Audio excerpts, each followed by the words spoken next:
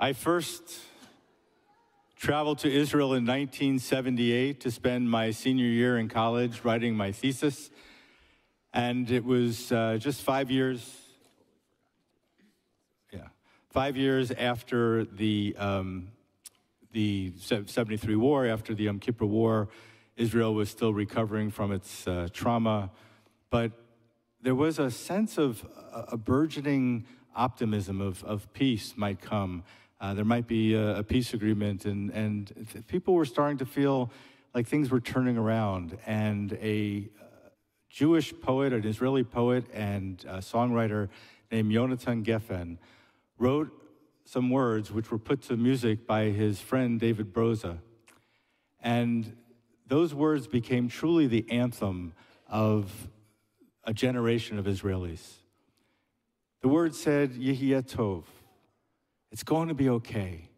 Good things are going to happen. Unfortunately, Yonatan Geffen died this week, and his funeral, I think, was today, actually. And so we thought, before the Kaddish, as a tribute to him and also as a celebration of the Israeli spirit, we would sing Yehiyeh both in his memory and really with the same optimism that he brought to the Israeli people.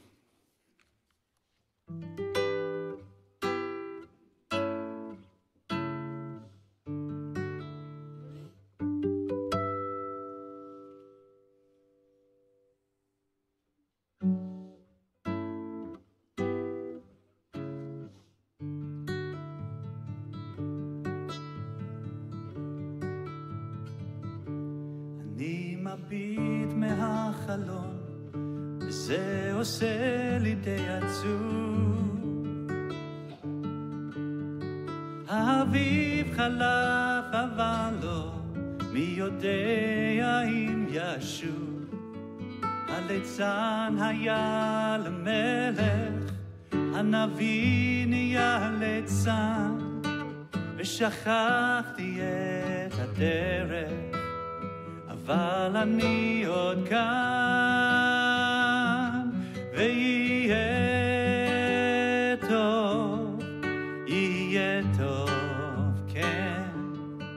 לפעמים אני נשבע.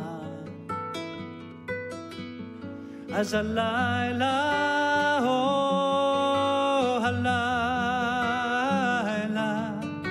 איתך אני נשאר.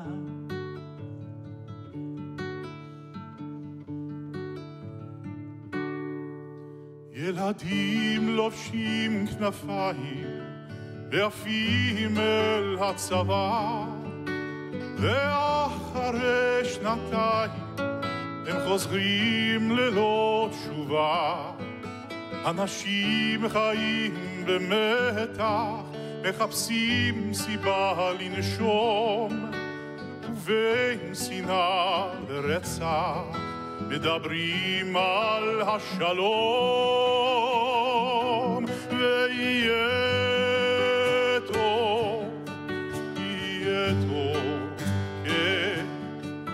לפעמים אני נשבע.